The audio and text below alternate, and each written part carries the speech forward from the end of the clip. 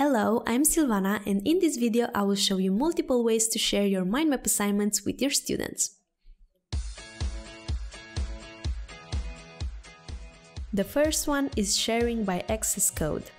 You can find it in the top right corner of your assignment. Share the code and the link with your students and they will be able to access it.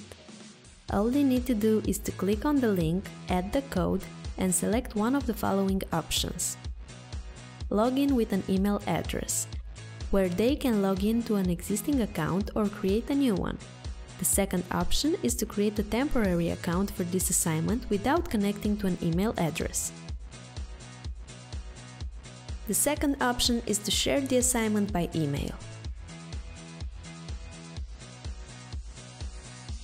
Students will receive an invitation link on their email and they need to create or log in to their account before accessing the assignment.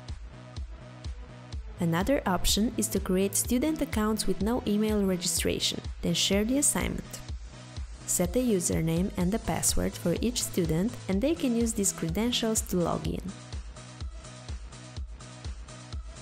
They will find the assignment in their dashboard. You can also share the assignment with students that you already connected with. For instance, students from classes you created, from your school, from your previous assignments, or students with accounts you created.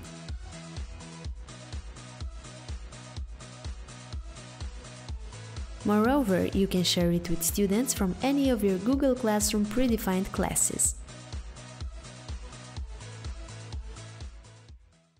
These are the assignment sharing options. Watch the next video to see how to assess students' work.